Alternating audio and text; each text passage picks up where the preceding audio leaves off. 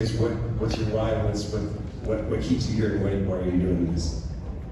Yeah, the, the space, uh, I think we talked about it a little bit at the beginning. The space has, uh, of investing has changed fundamentally. When I graduated from business school, my first job was uh, as a manager in the management team of the Sony Pictures Venture Fund, uh, which we invested in media companies globally. And uh, back then we invested in a satellite channel in India that did extremely well, better than a lot motion pictures group of films did that year. Um, so interesting for me is that back then we had to wait maybe seven to ten years for an outcome of that fund, and going back to our limiteds, which was our corporate, you know, kind of showing them a return on investment. Um, today, I advise hedge funds, you know, which are liquid investments and not necessarily waiting anything to kind of figure out what's going on in the market. Because from the hedge fund perspective, you can invest in things that are already liquid, which have cryptocurrencies and NFTs, which you guys are building businesses around. And the venture funds are also investing in that space. So if you talk to a fund of funds today, they'll say, we prefer to invest in the liquidity. Even in the venture funds, they're investing in a tokenized venture, in an NFT-driven venture, because we can see in that investment much faster than you know 10 to 14 years, which is what you know came after the original 7 to 10. Yeah, so speed, trans, uh, visibility in the space. You know what people embrace immediately, or what companies embrace immediately. Go ahead. Yeah, I'm just in it because it's fun. Um, no, but uh, in all seriousness, I think when when the NFT stuff started happening, I saw so many different new business models just emerge, and, and the way companies started, and the way companies work with each other. And having been in the start more traditional Web 2 startup world, seeing these kind of new ways for businesses to start, for DAOs to form, for, for collaboration, for building on top of someone else's data. then that was absolutely fascinating. And today I'm still in it because I think fundamentally will be in a lot of places like they were talking about in the last uh, last panel, but also I'm seeing a lot of learnings from Web3 now being applied back to Web2. So I'm actually seeing a lot of non-blockchain companies that look like blockchain companies, which I think is a, is a fascinating impact of Web3. Yeah.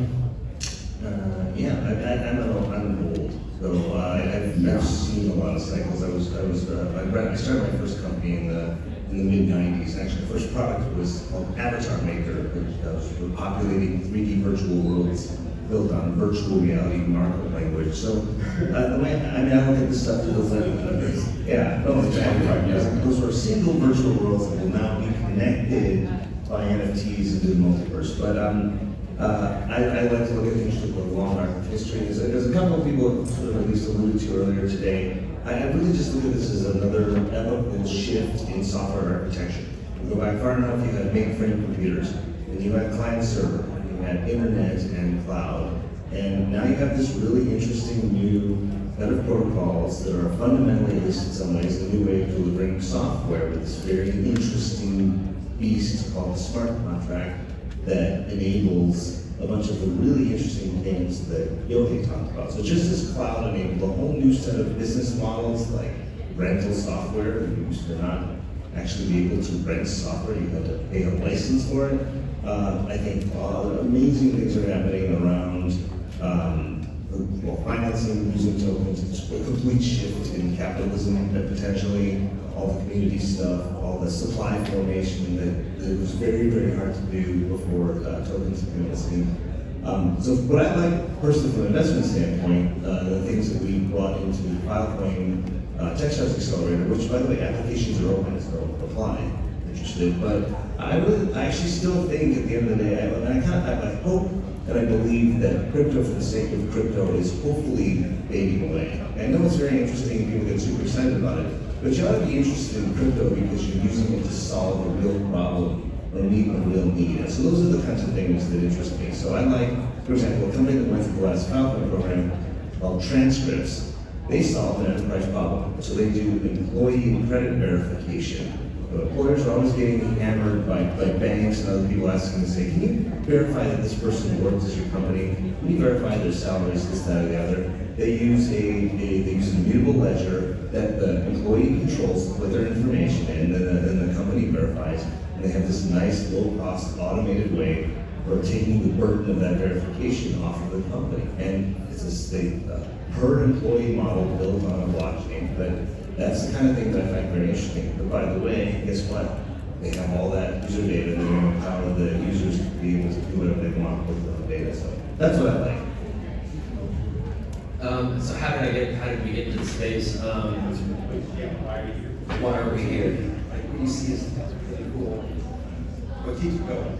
Okay. What Um, keeps you going here? what keeps me going here? Um, caffeine mostly, but uh, the um, I come from a very Web two world of entertainment. Uh, worked as a studio producer for ten years, made you know big films with Sony, Warner Brothers, Universal. Um, my biggest one was Marvel.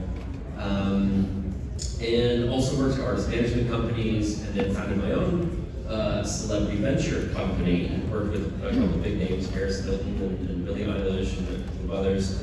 Um, but in, so I, I looked at this as sort of in two tracks. The first is um, what was the value of what were celebrity businesses doing? Celebrity businesses went from um, you know, endorsements and just appearances, and then they went into leveraging that interest to be an equity stakeholder in the business and a celebrity partnership.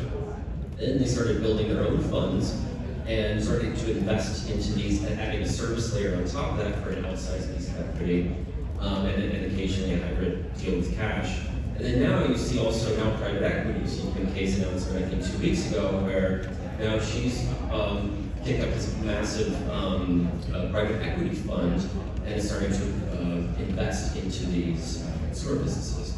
So you see that, and then also you see the evolution of um, uh, direct to consumer between um, Sorry. So you see the evolution of the Web3 technology and being able to bring artists and fans closer together. So to me, like this Web3 evolution is just kind of this next step in direct to consumer. And I specifically look at that around uh, entertainment and bringing fans closer to their teams or favorite artists or in favorite entertainment experiences. Wow, that's cool. Uh, so, you know, this is, is